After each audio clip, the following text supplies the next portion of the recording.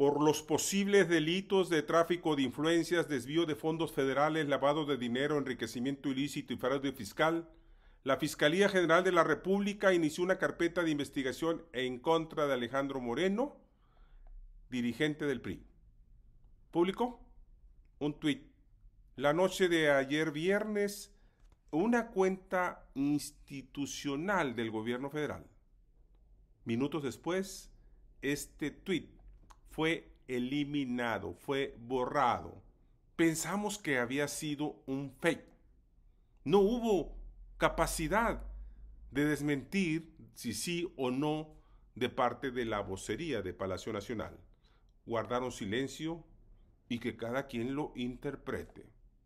El quid es que dejaron la huella en la pistola dirigida a uno de sus adversarios que como ya se lo habían advertido, según una grabación que se dio a conocer, lo amenazaron que si no jalaba con sus votos para la reforma eléctrica, se irían con todo en su contra. Ahí está la grabación. Los priistas, encabezados por Alito, votaron en contra. Y empezó la persecución. Está confirmado. Hay una investigación abierta por cinco delitos, entre ellos enriquecimiento ilícito, defraudación fiscal, lavado de dinero. La nota lo traen varios medios, pero la trae también el reportero Bel Barajas, especializado en el tema en reforma. El anuncio de esta investigación desde Palacio Nacional ocurre 24 horas después de que se comentó el asunto de Peña Nieto y ocurre también cuando el dirigente político de ese instituto político, el PRI, se encontraba en Ginebra, Suiza, justamente denunciando al gobierno federal por persecución política, amenazas, amenazas y espionaje en contra de opositores. El mensaje, el error de Palacio no es bueno.